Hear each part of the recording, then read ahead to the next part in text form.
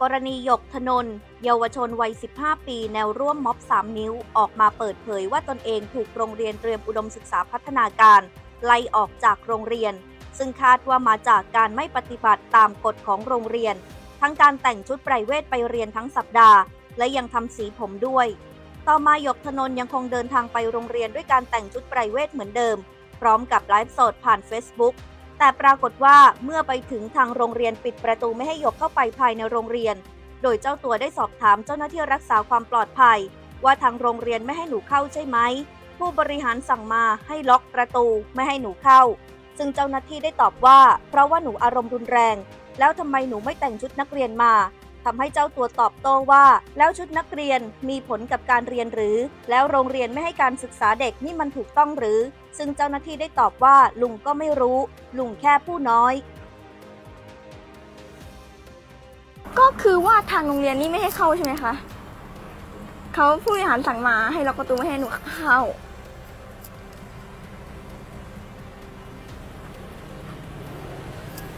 เชื่อลุงอะก็เข้ามาพอมาคืนอยากอยากกันทุลัง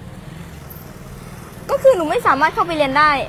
เพราะผู้บริหารสั่งมาให้ปิดประตูถ้าเห็นหนู แล้วถ้าเข้าเราเรียนได้แล้วทำไมหนูไม่เคยเข้าเรียนมาเท้าเราทำถามความจริงมา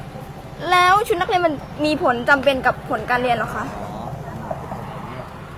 ไม่มาถามดีแล้วมันเป็นนักเรียนไม่ไม่ไม่แล้วโรงเรียนมาไม่ให้การศึกษาเด็กนี่มันถูกต้องหรอคะลุงก็ไม่รู้เหมือนกันละลุงแค่พูดน้อย แต่ผู้บริหารไม่ให้เข้า สั่งให้ปิดประตู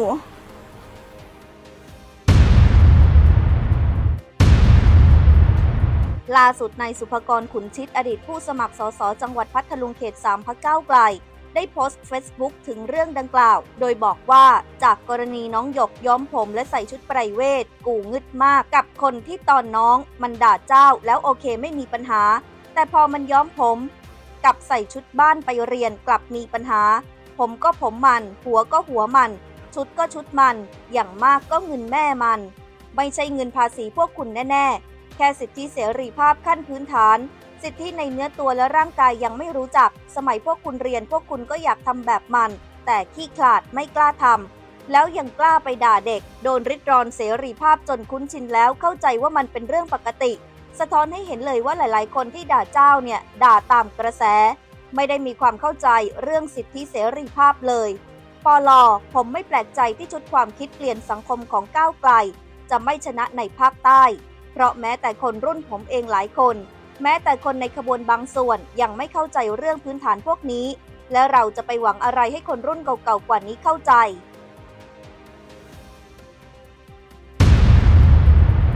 จากนั้นนายสุภกรได้โพสต์ด้วยว่าขออนุญาตลบเพื่อนคนที่ด่าน้องหยก เรื่องย้อมผมนะครับ พอดีที่บ้านไม่ให้คบคนโง่ ซึ่งทำให้มีผู้ใช้ Facebook เข้าไปแสดงความคิดเห็นจำนวนมากนับพันคอมเมนต์โดยที่ส่วนใหญ่ต่างรุมตำหนิอดีตผู้สมัครสสพักก้าวไกล ไม่เว้นแม้กระทั่งแฟนคลับของพักก้าวไกลเอง ที่ถึงขั้นแท็ก Facebook พักก้าวไกล